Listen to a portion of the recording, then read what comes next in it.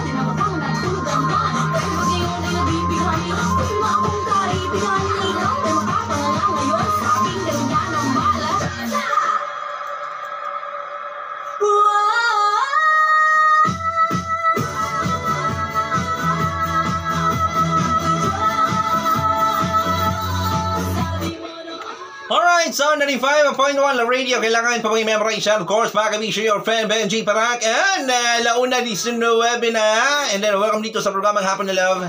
Kumusta mo, mga amigos, mga amigas? So hot, so hot, so hot! Hot kaayo. Siya oh, hot. Lamion, lamion. No, na na lang.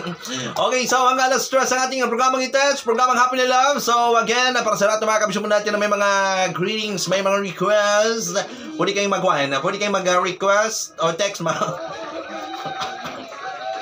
o text mga kabisyo sa 0930-546-7675. Dagang salamat din no, sa tanang nag-subscribe. Nag-subscribe sa tuwang uh, YouTube channel. Ah, salamat. Katungwa pa din no, ato lang sa may J Marasigan Abordo. J Marasigan Abordo. Ayan. And ring the bell. Ano na lang. And then, uh, yeah. Okay, hi to uh, Leslie uh, Tipagat, Gaminaw, Karon, hi Les, LT Les. O, nakita, may maghapon sa Bahan Riverside. Hala, sige, long live, long live, long live.